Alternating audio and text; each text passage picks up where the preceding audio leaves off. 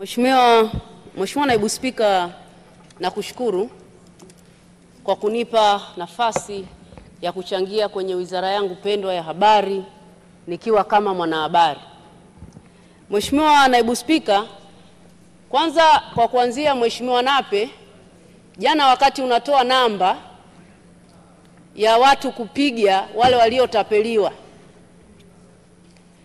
watu tume, tume, tume, tumetuma message majibu yanayokupa kwamba hiyo namba haijahusika na utapeli.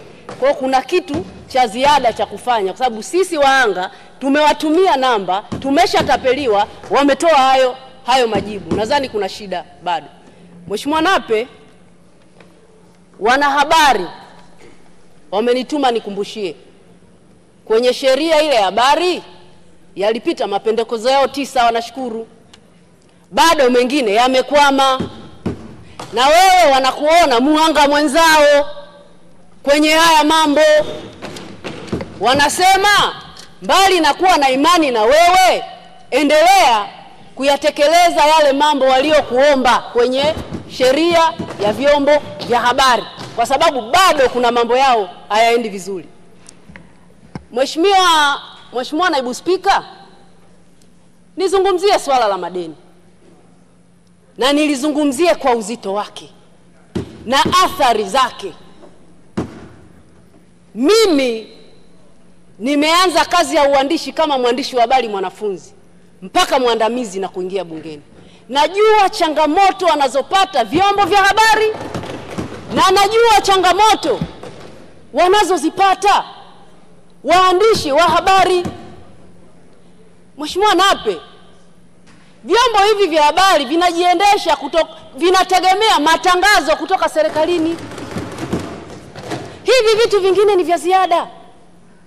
Wanapolipwa ndio wataweza kulipa mishahara, wataweza kujiendesha na kufanya mambo mengine. Leo wana madeni sugu zaidi ya bilioni kumi na nane na hapo kuna vyombo vingine havijaorozeshwa. Hiyo bilioni kumi na nane chombo changu cha zamani Uhuru na Mzalendo hapa hakijawekwa na wamenitumia niwatetee Mheshimiwa Nape, wenyewe wanadai zaidi ya milioni mia sita kwenye hiyo bilioni kumi na nane bilioni kumi na moja ni TSN. Watalipaje mishahara? Watajiendeshaje? Na sisi tulivyo waandishi wa habari, kazi yetu ni kufanya kazi tu kimya, hakuna anayetutetea mpaka ifike leo humu ndani tuzungumze. Sio sawa, sio sawa.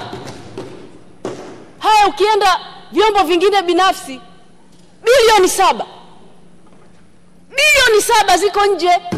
Hawa watu watafanyaje kazi? Na Mheshimiwa Waziri Mkuu aliahidi kulipa. Wiki iliyopita Mheshimiwa Naibu Waziri Mkuu yuko hapa, aliahidi kulipa. Tunaomba hawa watu walipwe. Hivi mmeshawahi kuona wasibu wanalalamika?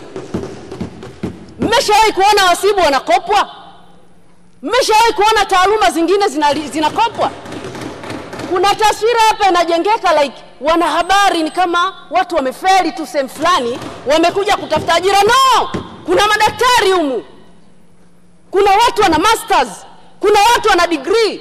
Ni kwamba wamechagua kufanya hii kazi, wasio wanasheria, wasio madaktari, wasiwe manesi. Tunaomba waheshimiwe, wapewe stahiki zao kama walivyo wanahabari, kama zilivyo taaluma zingine.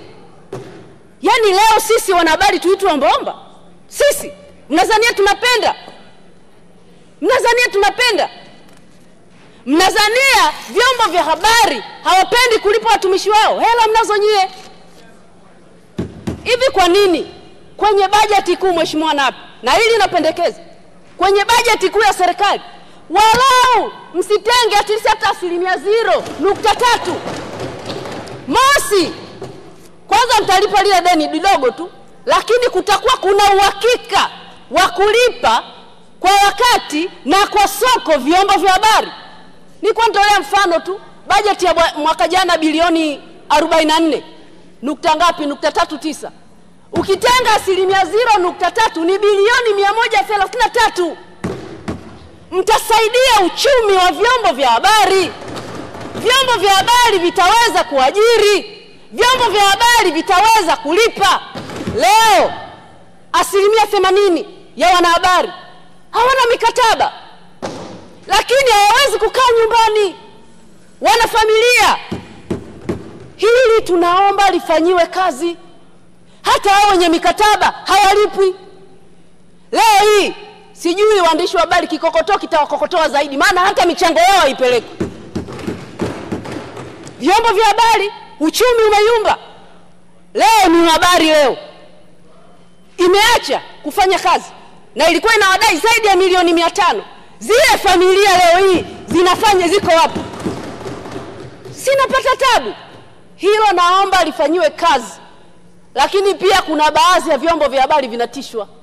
Uhuru upo yes, lakini sio kwa kiwango hicho. Tunaomba hilo nalo lifanyiwe kazi, waweze kufanya kazi kwa uhuru, uhuru wa wingi wa habari, lakini na kufanya kazi kwa habari, pamoja na watoa taarifa wanawanyima wanahabari taarifa. Huo ndio ukweli pia upo. Kwa hiyo hilo nalo Mheshimiwa Nape naomba ulifanyie kazi. Alafu kuna kitu kinanisumbua hivi, leo unasafiri kutoka Dar unaenda Morogoro, unafika njiani eti network inakata ya Voda, lakini eneo hilo kuna Tigo, kuna Airtel. Sasa si haya makampuni yanaweza akakatana, mtu ukaweza kuaccess hata mtanda hata ukapa, mtu wa Voda kwenye eneo la Tigo akapata network, kwenye eneo la Airtel akapata network. Haya ni mambo ya kizamani, nchi nyingine wanafanya hivyo.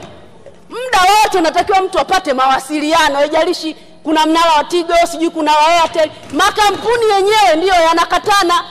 Huwezi kweli kutumia network ya, ya, ya Airtel bila Vodacom kwa sababu utakuwa umeingilia territory nyingine, lakini kuna taratibu. Wao makampuni wenyewe majiant wakakaa wakaongea, kukaa kuna mtandao muda wote, na hii itaondokana na Watanzania kuwarundukia malaini mengi, na itaondoa pia urasimu kwenye mawasiliano. Haya mambo jamani, yamepitwa na wakati. Ndio maana ya teknolojia ya mawasiliano. Twende na dunia. Tanzania sio kijiji.